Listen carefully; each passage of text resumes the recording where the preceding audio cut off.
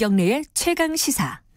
예, 제주 4.3 사건 관련된 피해자들에 대해서 재심이 계속 진행 중에 있습니다. 근데, 어, 엊그제 굉장히 중요한 판결이 하나 있었어요. 그 군사법원에서 지금까지 유죄받았던 것이 어, 재심으로 다시 무죄로 확정된 경우는 많았는데 일반 법원에서 어, 어, 형을 살았던 분이 무죄를 재심해서 받은 어, 판결이 있었습니다. 당사자분이 김두황 할아버지신데요.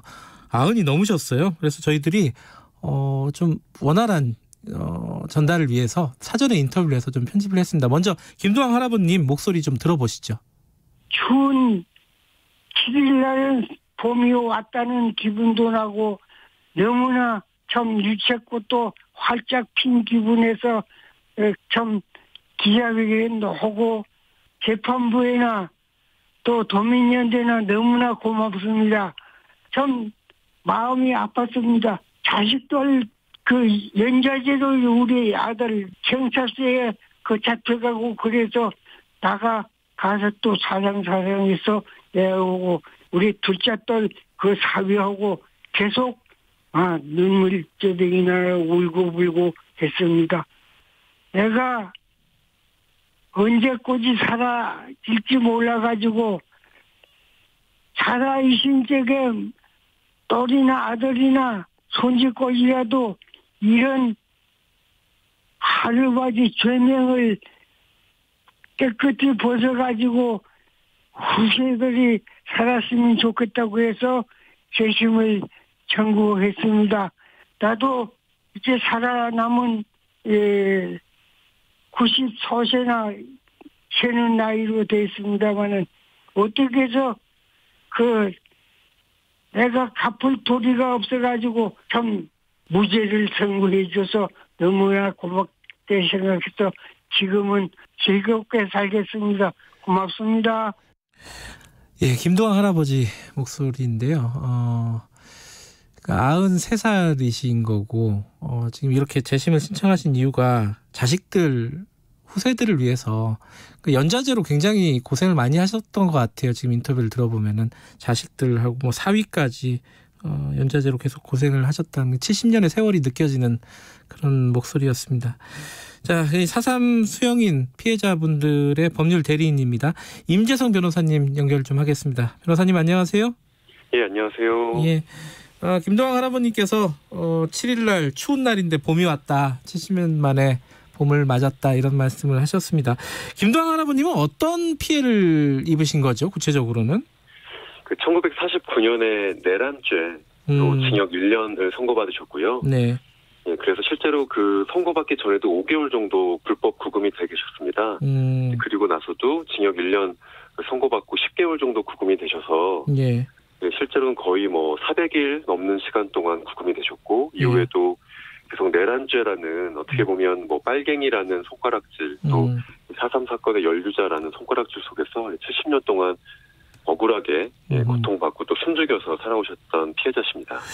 근데 그 지금 그때 나이로 김동환 할아버님이 아마 한 스무 살 남짓 정도밖에 안 됐을 것 같아요, 그죠? 예, 맞습니다. 28년생이시니까 그때 뭐 21살, 22살 음. 요때셨습니다. 그때는 그러면 본인이 뭐 이런 저기 뭐야 어, 폭동이라든지 이런데 전혀 가담하지 않았는데 이렇게 잡혀갔다는 말씀이신 거죠? 그 판결문에 보면 네. 민해청이라고 하는 좌익 단체에 가담을 해서 예. 근데 뭐 판결문에 적혀 있는 것도 사실 이게 징역 1년을 선고할 만한 사건인가 싶은데요. 예. 다섯 명이 모여서 집회를 했고 다섯 명이 또, 모여서 예. 예. 또 다른 한 번에는 또 이제 산에서 내려온 사람들에게 좁쌀 한 대를 줬다라는 아. 게 판결문에 기재된 내용이 전부입니다. 아하. 좁쌀 예, 한 대. 김정 할아, 예. 예. 근데 김정 할아버지는 뭐 그런 사실을 한 적도 없고 음. 오히려 나는 마을을 지키는 민보단 활동을 했었는데 어, 어떻게 그 민보단 중에서 끌려간 누군가가 예. 가족 고문을 당하다 보니까 마을에 있는 청년들의 이름을 불렀고 아하. 예, 그래서 자기도 끌려가서 그렇게 엄청난 고문을 당하면서 예. 민해청 활동을 했다라고 자백을 음. 했다라고 말씀을 해주셨습니다. 그러니까 누군가가 어, 거짓된 증언으로 이 김도환 할아버님의 이름을 얘기를 했고 당국에 그러면 김정 할아버님 예상은 그러시지 추측은 예, 그러신 겁니다. 예, 그 끌려가셔가지고 또 고문을 당해가지고 또 다 그 시키는 대로 진술을 했다 이런 말씀이신 거네요, 그죠? 예, 좁 쌀 한 대 준 거 맞냐 이런 음. 식으로 물어보니까 뭐 어쩔 수 없이 그렇게 인정을 했는데 너무 평생 그때 그렇게 이야기한 게 억울하다 예. 얘기하시면서 살아오셨던 거죠. 고문을 많이 당하셨대요. 어땠습니까? 그 법정에서 진술하셨던 고문 내용이 조금 뭐 너무 비참했었는데요. 네. 사실 고문을 많이 당하시다기보다는 그 자백을 받기 위한 고문이 이제 하루 한 번, 음, 이틀 정도에 한 두세 번 정도 뭐 거쳐서 이- 고문이었었는데 예. 뭐 구체적인 내용을 이 아침에 말씀드리는 것보다는 예, 20대의 청년의 몸으로도 감당하기 어려운 그런 음. 폭력들이 며칠에 걸쳐서 이루어졌다고 말씀해 주셨습니다. 음. 근데 이번에 이제 70년 만에 70년 만에 이게 무죄가 다시 선고가 된 거잖아요.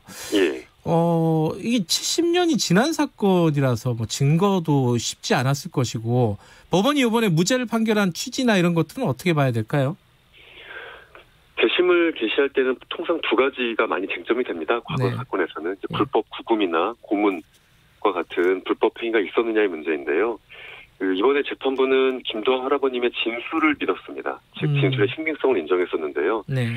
최근에 제주 4.3에서는 관련된 재판들에 대해서 재심이 굉장히 많이 이루어지고 있습니다. 네. 수백 건 가까이가 재심 신청을 하고 있는데 네. 재판부가 이 다른 과거 사건에 비해선 조금 더 폭넓게 음. 그러니까 굳이 객관적인 서류와 같은 물적 증거가 없다 하더라도 진술의 신빙성을 가지고 재심 네. 개시를 좀 폭넓게 고려하고 있고 네. 특히 김동환 할아버님 같은 경우는 군사재판 같은 경우는 그 불법성이 좀 여러 가지 서류를 통해서 확인됐던 적이 있었습니다. 음. 그래서 일전에 재심도 이루어졌었는데 네. 일반 재판 같은 경우는 사실 저 역시도 사건을 수행하면서 가능할까라는 음. 생각이 있어서 딱 한 분에 대한 재심만 먼저 신청을 했던 건데 네. 재판부가 이 군사재판과 다르지 않게 음. 진술의 신빙성을 믿고 이 재심 개시 그리고 무죄 선고도 해주셨습니다. 근데 그 저도 기사를 읽어보니까요. 이 할아버님이 재판정에 출석도 안 했는데 자기도 모르게 재판이 이루어졌다 이런 얘기가 있더라고요. 어, 요 군사재판 같은 경우는 그렇게 이루어졌습니다. 어. 근데 이제 김정 할아버님 같은 경우는 법정에 출석을 하셨고요. 아 그래요. 예, 예, 예. 음. 근데 군사재판 같은 경우는 지금 방금 말씀해 주셨던 것처럼 음. 이 피고인 당사자가 재판에 출석하지도 않은 채 재판이 이루어지는 음. 불법성이 너무 많았기 때문에 예. 예, 이런 것들에 대한 재심이 좀 먼저 이루어진 측면이 있었습니다. 근데 이제 군사 재판 같은 경우는 좀 편파적으로 어, 불공정하게 좀 강압적으로 이루어진 측면들을 충분히 예상을 할 수 있을 것 같은데 예. 일반 재판도 일반 재, 사법부도 그런 식으로 재판이 허술하게 이루어졌다라는 뜻으로 받아들여도 되나요? 그 재심 개시와 재심 절차가 조금 다른데요. 예. 일단 재심 개시는 불법 구금이나 고문, 즉 음. 재판의 전제가 되는 수사 과정에서의 불법이 있으면 일단 재판은 다시 합니다. 네. 그래서 할아버님의 진술로서 일단 재판이 다시 개- 그러니까 재심이 개시가 된 거고 예. 재심 개시 이후부터는 이제 검사의 입증 책임이 있는데 예. 과거의 사건이다 보니까 사실 그 김동 할아버님이 기소됐던 네. 어, 그런 기소 내용에 대한 증거를 검사가 제출할 수 없었기 때문에 네. 검사 역시도 무죄를 구형하고 음. 재판부도 그런 입증 책임에 어, 검사가 입증을 다 하지 못했다는 이유로 무죄를 선고한 겁니다. 음. 자, 지금 이제 사실은 형사적으로 무죄를 받는다고 해서 이분의 70년 동안의 세월을 보상할 수는 없는 거잖아요. 예.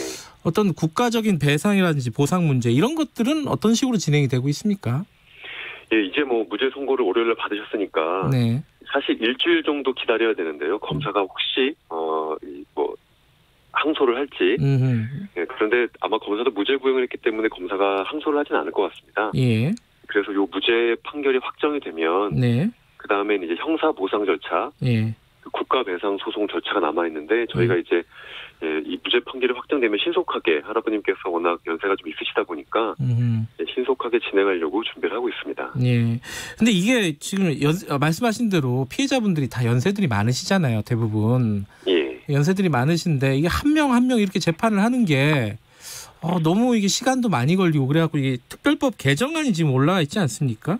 예 맞습니다. 개정안이 통과가 되면은 뭐가 달라지는 거예요?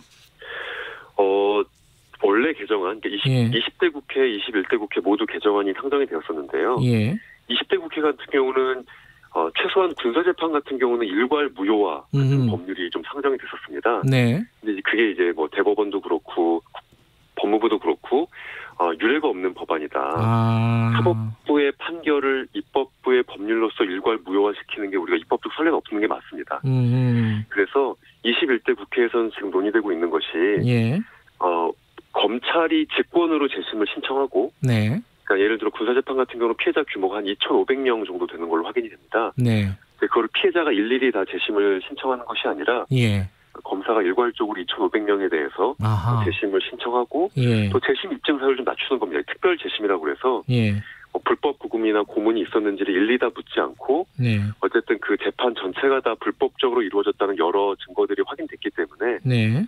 예, 재심을 신청하면 바로 재심 개시 절차를 음. 어, 한 이후에 거의 다 이제 그러면 아마 공소기각이나 무죄 판결이 예. 어, 좀 일괄적으로 이루어질 것 같다는 예상은 하고 있는데요. 네. 어쨌든 그럼에도 불구하고 피해자들의 권리 구제가 그렇게 일일이 다 재심 개시를 하는 것 방식은 좀 늦어질 거라는 예상은 하고 있습니다. 그래서 음. 일괄 무효화 법안은 여전히도 뭐 피해자 그룹에서는 지지하고 있는데 네. 예, 여러 가지 부담스러운 입장을 음. 좀 확인하고 있기도 합니다. 그럼 그게 이제 뭐 법리적인 문제 이런 부분 때문에 국회에서 계속 통과가 안 되고 이렇게 늦춰지고 있는 거라고 보면 되나요? 요 재심과 관련된 부분은 좀 그런 측면이 있습니다. 그래요. 아니 뭐 얼마 전에 이제 5.18 특별법 같은 경우에는 어 이게 법사위를 통과를 했잖아요. 예, 예. 이게, 이게 그 사삼 관련된 특별법도 통과가 빨리 돼야지 이제 피해자들의 구제가 빨라지는 거 아니냐 이렇게들 생각하실 것 같은데 전망은 어떻습니까? 이게 우리 사삼이라고 하면 다 끝난 일이다. 아주 예. 과거의 사건이다. 이렇게 생각하시는데요. 예. 오늘 뉴스에서 나온 것처럼 70년 전에 억울하게 재판을 받으셨던 분이 이제서야 무죄 판결을 받고 93세의 할아버님께서 봄이 왔다. 이제서야 예. 라고 얘기하시는 것처럼 실제로 사삼 관련돼서 여러 가지 뭐 미진한 부분들이 있습니다. 네. 아주 대표적으로는 피해자 그 누구도 국가에게서 제대로 된 배보상을 받지 못해서 네. 특별법에서 배보상 관련된 법률이 20, 20대, 21대 국회에서 계속 논의되고 있는데 네. 음, 아주 개인적으로는 전망이 밝아 보이진 않습니다. 그래요. 왜 그래요? 예, 연 연내 입법을 목표로 하고 있긴 한데요. 네. 정권 여당이나 청와대에서도 음. 그런데 관련된 논의가 활발하게 이루어지지 않고 있어서 음. 또 이제 뭐 당연히 아시는 것처럼 이게 그 쟁점 법안으로 다뤄지지 못하는 것도 현실인 것 같습니다. 와. 예, 그래서 아. 연내 입법이 과연 가능할까? 이 피해자분들 중에서 살아계신 분들의 연세가 이렇게 많으신데 네. 돌아가시기 전에 과연 국가로부터 진정한 사과라고 하는 배보상을 받으실 수 있을지 또 음. 예, 평생 전과자의 낙인을 이제 좀 벗으실 수 있을지 네. 기대해 보고 있는데 예 개인적으로는 좀 쉽지 않아 보여서 안타깝습니다. 음, 그러니까 이게 법리적인 어떤 논란 이런 부분들도 일부는 있지만은 국회에서 좀 관심이 없는 측면이 있는 거네요. 다른 어떤 정치적인 사안들에 묻혀가지고. 과거사 과거사 사건에 대해서 관심이 네. 좀 떨어지죠 아무래도. 또 아무래도 그렇죠. 네. 예 예. 음. 그러면 이제 지금 지금으로서는 특별법이 통과가 안 된 상황에서는 국가 배상이나 이런 부분들도 개인이 소송을 통해서 다툴 수밖에 없는 그런 상황인 거네요. 예, 그래서 한 분 한 분이 이제 또 법원에 소송을 음. 하셔야 되고 또 네. 재심 개시 청구도 마찬가지고 좀 예. 어, 저는 법정에 보면 요즘에는 한 수백 명 분들이 이제 재심 신청을 하셨기 때문에 네. 어, 저희가 무죄 선고를 받았을 때도 한 50명 정도의 분들이 법정 앞에서 기다리셨습니다. 물론 유족분들이긴 하지만 네. 이런 모습이 국가가 70년 전에도 이 불법을 자행한 국가가 지금도 참 무책임하다라는 생각이 좀 들었습니다. 음. 이렇게 고령의 분들이 법정까지 나오셔서 자신의 피해를 일일이 호소하시는 것이 2020년의 대한민국의 책임 있는 모습인가 싶었던 좀 음. 경험입니다. 그게 빨리 안 이루어지는 게 참 안타깝네요. 자 마지막으로 어 그 청취자분들도 아마 그런 걸 거예요. 이게 막 국회에서 시끄럽고 막 법사위에서 시끄럽고 이럴 때는 뉴스에 눈이 가는데 이 과거사 문제 이런 것들은 눈에 잘 안 가거든요. 예. 어, 이런 분들에게 청취자분들에게 한 말씀 하시고 마무리하죠.